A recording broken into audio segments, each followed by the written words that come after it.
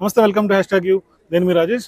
Congress party వ్యూహాత్మకంగా ఇప్పటికే రైతు డిక్లరేషన్ అలాగే నిరుద్యోగ డిక్లరేషన్తో పాటు ప్రస్తుతం ఇవాళ ఎస్సీ ఎస్టీ డిక్లరేషన్ ప్రకటించబోతోంది. మరోవైపు పెద్ద ఎత్తున ఈ సభకు సంబంధించిన ఏర్పాట్లను చేసి పెద్ద ఎత్తున భారీగా తెలంగాణ వ్యాప్తంగా కూడా అందరూ కూడా తరలివచ్చే అవకాశం కనిపిస్తోంది. సో ప్రస్తుతం ఈ సభకు సంబంధించి మాట్లాడడానికి మనతో పాటు కాంగ్రెస్ పార్టీ ప్రధాన కార్యదర్శి అలాగే ఎల్లారెడ్డి నియోజకవర్గం ఇన్ఛార్జ్ ఉన్నటువంటి వడ్డేపల్లి సుభాష్ రెడ్డి గారు మనతో పాటు జాయిన్ అవుతున్నారు. నమస్తే సుభాష్ రెడ్డి గారు. ఏం సార్ ఈ సభకు సంబంధించి ఏంటి మీ అంచనా ఏంటి? ఎంతమంది వచ్చే అవకాశం ఉంది? ఎంత మేర ఈ సభ కాంగ్రెస్ పార్టీకి ఉపయోగపడుతుంది అనుకుంటున్నారు? మొట్టమొదటిగా ఏదైతే ఈరోజు మల్లికార్జున ఖర్గే గారు రాబోతున్నారో వారికి మొదట ధన్యవాదాలు తెలియజేస్తూ ఎస్సీ ఎస్టీ సబ్ ప్లాన్ ఏదైతే ఎస్సీ ఎస్టీ డిక్లరేషన్ ఇస్తా ఉన్నామో దీంట్లో దీనికి బ్రహ్మాండంగా మేము మంది వస్తూ ఉన్నారు. చాలా పెద్ద మొత్తంలో వస్తూ ఉన్నారు. ఎస్సీలకు కూడా ఏదైతే ఇండ్లు ఇప్పుడు ఎస్సీ మేము డబుల్ బెడ్రూమ్ ఇండ్లు ఇచ్చామో అంటే ఐదు లక్షలు అని చెప్తా ఉన్నాం. ఎస్సీ ఎస్టీలకు ఆరు లక్షల వరకు ఇండ్లు ఇస్తామని మాకు ఖర్గే గారు ప్రకటించబోతా ఉన్నారు. తర్వాత ఏదైతే దళిత బంధు ఇస్తూ గిరిజన బంధు కూడా ఇస్తామని చెప్పి దీంట్లో ఎస్సీ ఎస్టీ డిక్లరేషన్ చెప్పబోతా ఉన్నాం.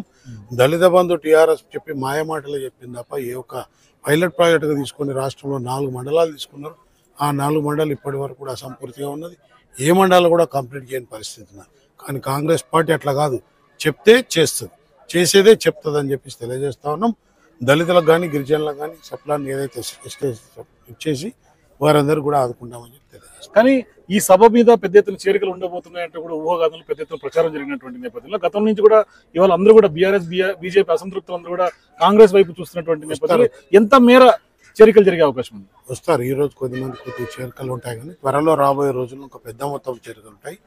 ప్రియాంక గాంధీ గారి సభలో చాలా పెద్ద ఎత్తున చేరికలు ఉంటాయని చెప్పేసి తెలియజేస్తాం. ఎ- ఎప్పుడు ఉండబోతుంది సార్? ప్రియాంక గాంధీ సభ మహిళా డిక్లరేషన్ అది కూడా ఒక వారం పది రోజులు మహిళా డిక్లరేషన్ పదిహేను రోజులు మ్యాక్సిమం సెప్టెంబర్ పదిహేను. మరి కాంగ్రెస్ పార్టీ అభ్యర్థుల విషయం తీసుకుంటే ఇప్పుడు దాదాపు వెయ్యికి పైగా వచ్చినటువంటి అప్లికేషన్స్.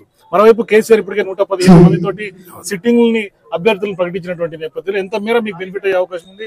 మీరు ఎప్పుడు ప్రకటించే అవకాశం ఉంది పార్టీ తరఫున? మీరు ఎట్లా ఆశావాహులుగా ఎట్లా వెయిట్ చేస్తున్నారు? పెద్దలు ఏదైతే నిన్నటి వరకు వచ్చిన అప్లికేషన్స్ ఇరవై ఐదు వరకు వచ్చిన అప్లికేషన్స్ అన్ని కూడా రేపటి నుంచి ఈ రోజు నుంచి స్క్రూటినింగ్ చేసి మండే తర్వాత పీఈసీ కమిటీ కూర్చుంటుంది. తర్వాత ఏదైతే స్క్రీనింగ్ కమిటీ కూర్చొని కేంద్రానికి పంపుతుంది షార్ట్ లిస్ట్ చేసి రెండో మూడు పేర్లు కేంద్రానికి పంపిస్తుంది ఇంకా పదిహేను తారీఖు వరకు కూడా రేపు రా హైకమాండ్ ఏఐసిసి సెప్టెంబర్ పదిహేను వరకు.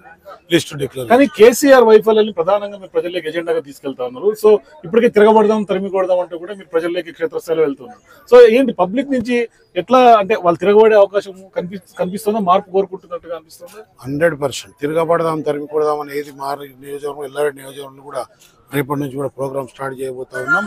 దానికి బ్రహ్మాండమైన రెస్పాన్స్ వస్తూ ఉన్నది. ఏదైతే ప్రభుత్వ వైఫల్యాలు వాళ్ళు చెప్పిన దళిత ముఖ్యమంత్రి అని చెప్పి దళితుల మూడు ఎకరాల భూమి అని చెప్పి డబుల్ బెడ్రూమ్ ఇండ్లా అని చెప్పి రుణమాఫీ అని చెప్పేసి ఇప్పటి వరకు కూడా ఉద్యోగాలు ఇంటికి ఉద్యోగం అని చెప్పి ఏది కూడా కంప్లీట్ చేయలేదు.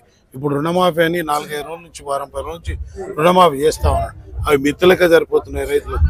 దాదాపు ఒక్కొక్క రైతుకు నలభై వేలు యాభై వేలు డెబ్బై వేల వరకు ఈ రోజు వరకు రెండు వేల పద్నాలుగు నుంచి ఇప్పటి వరకు మిత్తి కట్టిన సందర్భాలు ఉన్నాయి. అవన్నీ మిత్తులకే సరిపోతున్నాయి. కాంగ్రెస్ పార్టీ ఒకటే చెప్తా ఉన్నాం. రేపు అధికారం రాగానే మొట్టమొదటి రెండు లక్షల రూపాయలు మాఫీ చేస్తాం. డబల్ బెడ్రూమ్ ఇల్లు ఎక్కడ కట్టుకుంటే అక్కడ ఐదు లక్షల రూపాయలు ఇస్తామని చెప్పి తెలియజేస్తా ఉన్నాం. ఏదైతే ఉద్యోగస్తులకు కూడా నిరుద్యోగులందరూ కూడా రెండు లక్షల ఉద్యోగాలు ప్రవేశపెట్టబోతా ఉన్నాం. ఐదు వందల రూపాయలకి సిలిండర్ ఇవ్వబోతా ఉన్నాం. నాలుగు వేల రూపాయలు వికలాంగులకు వితంతులకు వీళ్ళందరూ కూడా పింఛన్లు ఇవ్వబోతా ఉన్నాం.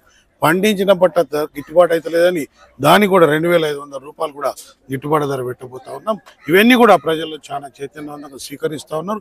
కాంగ్రెస్ పార్టీ పట్ల స్వాగతిస్తా ఉన్నారు. సో ఏంటి సార్ ఇప్పుడు ఈ డిక్లరేషన్స్ అన్ని కూడా కలిసి వస్తాయి అనుకుంటున్నారా? హండ్రెడ్ పర్సెంట్ రైతు డిక్లరేషన్ ఏదైతే వరంగల్లో చెప్పినో దాన్ని ఇప్పటి వరకు మేము రచ్చబండ రూపంలో ఆత్సా జోడ రూపంలో ఇంటింటికి తీసుకెళ్ళడం జరిగింది.